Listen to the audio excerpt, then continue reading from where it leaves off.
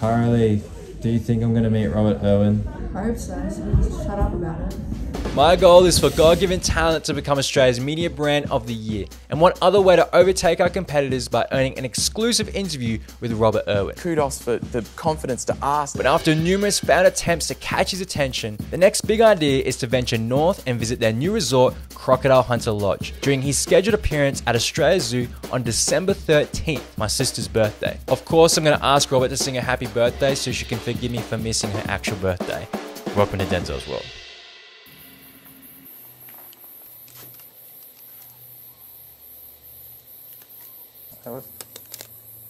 Operation failed. Should be able to. Oh. Thank you. Guys, welcome.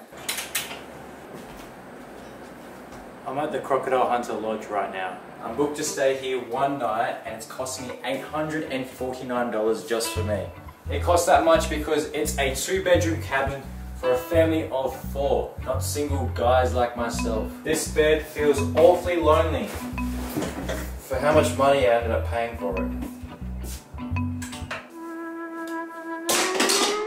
They said everything in the fridge is complimentary.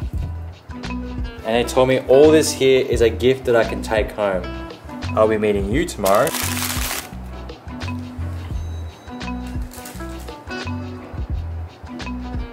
Mmm, shortbread cookie.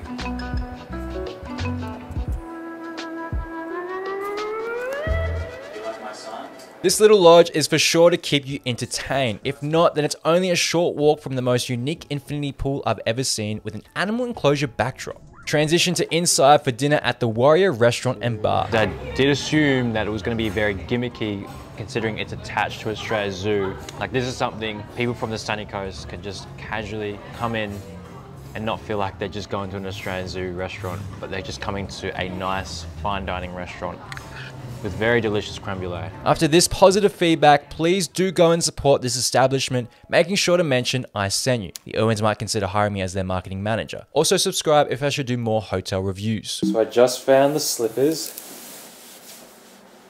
Do you like my sign? Today has been a big day, but tomorrow is the bigger day. Good night. We're gonna finally conclude this saga and get Robert to say happy birthday to Carly.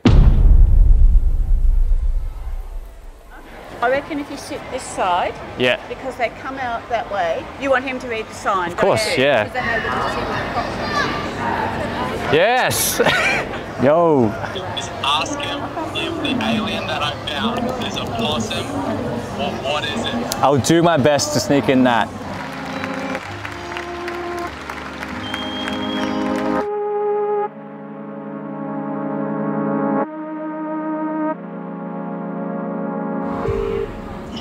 Hello? Hey, Yeah, what's up? the staff here asked me to take down my sign, uh, threatened to kick me out All right. if I didn't comply, which I complied. And of course, I couldn't get Robert Irwin to sing you happy birthday. That's fine. To protect Australia Zoo's brand, I won't share any further details of the conversation I had with staff, except the fact that they gave me the contact details of the appropriate person to chat about hosting Robert on the podcast. An email was sent right away. Got an email back. For those we agree to collaborate, there are many factors to consider which are often evaluated after receiving an official proposal. Some of these aspects include audience size, engagement, other content being aligned with our mission and overall availability. I'm sorry, but we will not be able to facilitate your request at this time. In just one email, everything I worked hard for immediately became useless. And all I can say is subscribe. Help me miraculously reach 10,000 subscribers by the end of 2022 so that we can all prove Darren from marketing wrong for thinking I don't have an engaged audience. So it's at the end of the day, and I was met with this very real thought coming into this experience. Everyone around me is growing up, getting married, having kids, and I'm here in the middle of it all with a dream that I just can't seem to achieve. Yet when I do achieve it, you'll all look back on this video and think, wow, I should have never given up on my dreams. Yeah, I'm over this sign.